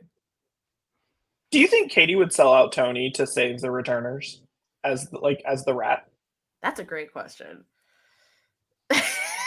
Me and W are on the same page. Um, because because the the one thing that I have learned from watching Katie play, especially this season, is that Katie will make those relationships, but she will look out for herself first, and she has made that very clear in every piece of the edit this season so far. Even from the beginning, where she said like, "I am not going to sink on the ship of the returners." So I, I just wonder if she would maybe. I mean, she's already burned Tony in a sense, so would she not just be willing to sell him out now as the leak? And I think she's got to have at least one newbie that has her back. Like, yeah, I don't think she should. I, I do think that Katie is smart enough to know that you can't just bet everything on the returners too. That you have to diversify yeah. your portfolio yeah. or whatever. Yeah, Yeah. she had a disposable. She had a disposable newbie. She had two that had her back. She was able to get Hey, rid of one. okay, rude. Okay, rude. Well, Wow. Wow. I, I get. Sorry, I Andrew, guess not a follow-up question. wow. She had two The glorious, disposable one is still in the game. How dare she dare had two you? glorious angels helping her along the way, and unfortunately, she had to damn one to hell. Put up the comment. Put up the Andrew comment. So, my follow-up question, I guess, to that, the follow-up to the follow-up is: Did do we think that Katie told, or did we think that Katie told Tony that it was going to be Andrew beforehand, or do you think Tony was legitimately blindsided there? Don't give me that, Katie. Don't you dare give me that. I think Tony might have knew. Like, what did Tony? How did that conversation between Tony and Katie end? Did Katie say we're gonna do X, Y, Z, or was she like, okay, yeah, thanks for the information?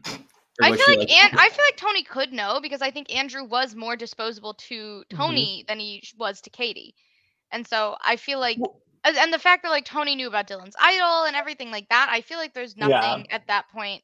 And like when Tony comes and tells Katie the vote, why is Katie not gonna then tell Tony the vote? And she does she Tony does assure know- Tony, she's like, it's not going to be you. So does Tony know there's an idol in play though? Does he know about Dylan's idol? Yeah, yeah. he told okay, he already knew about it before this episode. Yeah. forgot. Be- because he was worried about who was going to get idled out, and she was like, "Don't worry, Yeah, like she it's said not it's going to not be, gonna you. be you. So we just Right. don't see like the conclusion of that. Right. But I'm So, sure yeah. she like texted him a heads up and was like, "Hey, by the way, your roommate's getting cooked." Yes, it was a text afterwards and not immediately following that line. Hmm. Edits are mysterious in that way.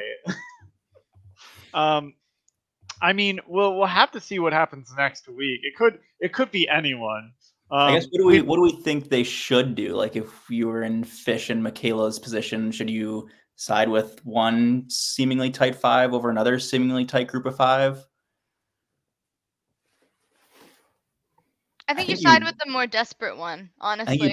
you, you pendulum to and which one is that? I think the return the returnees are way more desperate right now. They just I played an you- idol. Like they know that they're like they know that they're fucked. So you side with the more desperate, so you side with Yeah. the returnees. Mm-hmm. like you pendulum, you get out a returnee and then you flip back the next week and just like Yeah, I agree don't with let that. one side get too much power if you can. But I agree with that. But thi- this is also filming at the time where the pendulum is kind of prominent in Survivor, so we we could have that on our wish list. The pendulum? Yeah, the the pendulum where you you It's team called. up It's with just. It's the usually just different called si- playing the middle. It's called Okay, yeah. I, I wasn't. I know what Yeah. the pendulum does. I just the reference of. Well, look, we've already had JS refer to himself as a pendulum. I just was like, is that a? I don't remember that being No, like it's- a recurring It's thing. just playing. It was in Game Changers. so Millennials- they, they, millennials use, they versus use the word Why would he make them Mhm. fish between food? between millennials, Gen X, and pendulum or the uh, Game Changers. It was like roll where is you going to just make them on both sides. into food.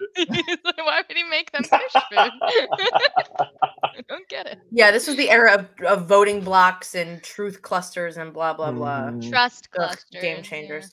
Um, Yeah. Also, Anders, how does it feel to, as somebody called you in the comments, be the Raven-Symoné of Survivor twists? Oh, it's Oh, it's so, so, funny. true. It's so funny. Uh, when I when I was going back through and making this episode, like, oh fuck, this is just earn the merge. Um, and I know there's gonna be these annoying comments that are gonna be like another earn your merge twist. Like, bitch, this came out way before that was a thing. All You- you Anders, right way, you know the Anders. You thing did you the right hate? way. Anders invented it. I and I'm the reason it's still there. Um, Survivor also was 39 days when this season was filmed. You know what I mean? Like, this was the good days. COVID. Mhm. I don't know what you're talking about. Do you mean Corvid? What we call crows? Um. So yeah, that was not. Look, and the same thing with like this was coming out at the same time as Survivor Game Changers, and unfortunately we called our little advantages Game Changers. So it was just like, well, it wasn't intentional in that, but it is what's happening. Next season we have little advantages called Heroes versus Healers versus Hustlers. Um, I found the hustler advantage. um, uh, Eric, like maybe I should have just eaten them. Um, should have just cooked them up. That's uh, the real way to win. Simply eat your competitors. Uh, so okay. Uh, is there any other moment in this episode that we want to talk about? We didn't talk about Jack's list making a recurrence. Oh, I That- did write that down. That was That fun. Hmm. very, very important, I think, because the last thing on that list, and I don't want to get ahead of myself, but how poetic would it be if at the end of the season, Anders says, in the winner of Survivor Maryland, winner take all, Jack, and then it flashes her list, and then the last check mark goes up. I just think that would be would very be clever editing. So hell. Yeah, and then it ends with a uh, a Dylan confessional of like that wow, was that was something. something. and then I, yeah, I just steal it from Survivor Michigan. I had two other moments I wanted to talk about.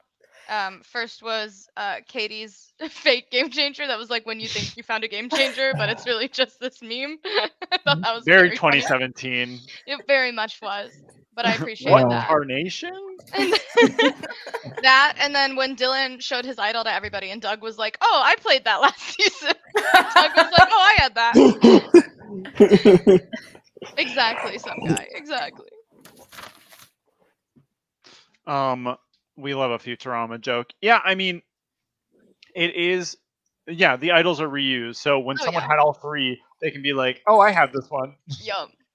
I mean, uh, Michigan does the same thing. I've got two All Stars idols on my bookshelf over there that have been there for years. So, you know, just nice yeah, you didn't play him. You didn't need to. I mean, Well, they were all in In All All Stars. Stars. No, I know. I Yeah, which one Guys, did I you watched the season. play? Okay. Um, uh, yeah, I mean, Doug just had every idol, didn't play them famously, which is also why it's so funny. It's like, does Doug have the idol? Why are you concerned? He wouldn't play them. Um, well, he was never in danger last time. Now he might. he literally was though. Famously was in danger one time, very seriously. Didn't play the idols. Um, so uh, we we any other moments that are in Well- your mind that you really want to talk about? I just liked. I Jack liked, stealing shoes. Oh, Oh, yeah, oh my, god. Jack ripping off Michaela's shoe. Oh man, they were vicious this season. And also, okay, there was a moment where like I thought Doug's neck was gonna pop off, like his head was gonna pop off his neck Yeah. because like the tire went so briefly around his neck and then he got it off. And I was like, did I just see Doug almost die on camera? That was insane. I wanted to talk about Michaela getting the legacy advantage and just being like, I feel so bad. like she just immediately was like, I can't believe I did that. She she didn't have to do this to me, but now I feel worse. what what And is, is that what's the legacy advantage again? Is it immunity at six? Yeah, yeah, yeah. I know in the show it was like an idol, hmm but I'd never seen it be used that way, so I was like, it's just immunity at six, which I feel like I'd rather have than another idol. Sorry about it. Um, so it is just like basically individual immunity at six. I like that. Hell yeah. So right now, Michaela gets to six. She is safe. There was a funny scene that I did cut from this episode where Doug's like, "Well, Jess voted out, so I'm waiting for that. Uh, that. Uh, I'm waiting for the advantage back." And I go, That's what should have Well, happened. It would have been "I have good funny. news," and he's like, "I don't have any." Uh, and he's like, "Cool." Uh, he did expect that advantage back from Jess after giving it to her. Honestly, it's a fair ask. Oh wait, oh last moment I wanted to talk about was Anders showcasing his athletic ability and catching the idol toss from Dylan. Very impressive. you're so cool. Oh my god. I'm so cool. Yeah, I'm a big character in these episodes, and I do my best to You're getting a great edit. I'm not gonna lie. I- Do you guys think I'm gonna win? No mask. You might. Um, I have a feeling I'm gonna be there every episode. Any other moments that stick out besides me Um, being amazing? JS at Tribal saying like right after Katie said, I can't remember exactly what she said, but it was like something pretty good. And he's like, and that's why the queen stays queen. I thought that was really good. So And the queen stays queen. I didn't say all that. it was after um it was after it's like oh god what even what it- oh katie being like well jess talked about another ringleader so clearly there's two threats in the newbies uh yeah She was also setting that, up yeah. She was setting up painting JS as the rat an hour later after Tribal. She was thinking a couple steps ahead. So I Also mean, the great that is why moment- the queen stays queen. of jess being like i don't think she's in this room being like i want to work with jess and then katie being like i fucking hate that guy I, I I said this in our chat last night, but JS saying my mouth is the most open mouth in the world sent me to the moon. It's so good. oh my god. What were what were Morgan's comments from the sit out bench? That also took me out. She's so funny. she was like, Andrew tackled a guy. Uh, people's shoes are getting ripped off. It was not this extreme last season. Oh, it was Um, emotionally extreme, but not physically extreme last season. Uh, yes, certainly. Well, of a different. It was the first day. It was much easier to just be like, whatever. Um, this season they were like, fuck it, I'm gonna punch this girl. um, the other titles for this episode, uh, besides Fish in a Barrel, were Out of the Frying Pan by Eric, uh, Out of One Frying Pan into Another Fryer, um, talking about going from one tribe to the other. Fool Me Three Times, another great Eric quote. Um, Morale is Low by Dylan, talking about the split. Uh, I Don't Like Sharing by Dylan, talking about his idol. It's his idol. Um, and Winnick's idol. and, rest in peace. Um, in Winnick We Trust. And then in Andrew We Trust, which was Katie's line, which I love so much, knowing that they are about to vote at Andrew being like, in Andrew We Yeah. Trust. That's so Um, terrible. That's so terrible. I will the- not. I will not forgive Katie for that. Genuinely, I will not. And then the final one was The Death of Me by Andrew. Yeah. Um, I think it's always funny to put someone's name in a title, like whether or not they're going home, just because it's funny. Yeah. Um, there may or may not be an upcoming title that is for sure going to have a contestant's name in it. Uh, just because it's so funny. I really wanted to do in in Andrew We Trust for this, but it was like, is that giving it away? I hope Um, it's called the fish tank. The fish tank. See, I don't think it. I I don't think Fish it gave it away though, because even in the context of that, when when um Katie's having the conversation with Dylan, I'm like, okay, they're choosing to trust Andrew. Andrew's not leaving, and so I felt, a- as I'm sure Erin did, I felt very blindsided at the end of the episode. I was jaw dropped for a full five minutes. My Well- mouth was wide open. Much like JS. Exactly. Um, and Tony. Tony having a surprise expression while knowing who goes home is so funny. Um, an actor, all of them. Okay, winner pick time. Uh, Erin. Do I, I don't I don't even want a new one. I don't even want one. Like, Uh, do I pick a new one now because it's merge or like? Do you want to pick a new one of I the twelve? really don't. Um. Oh, I just I feel hate sad about it. I don't hate everybody. I just am sad. Um. No, I don't want to pick anybody else. All right. Uh, Erin thinks they'll all lose. Naomi, Yeah. who's your winner picks?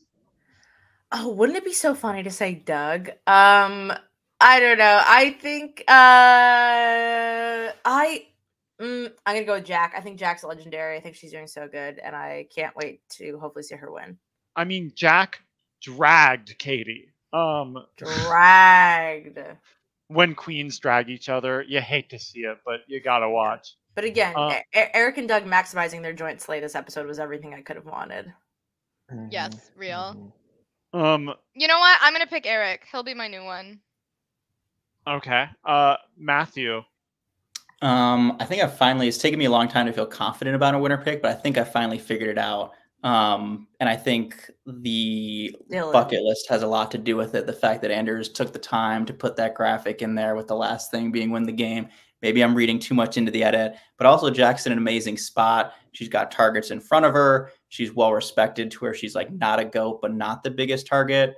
Like she's got Miranda with her. She seemingly has Tony with her for a solid final three. She can bring Sam as far as she needs to.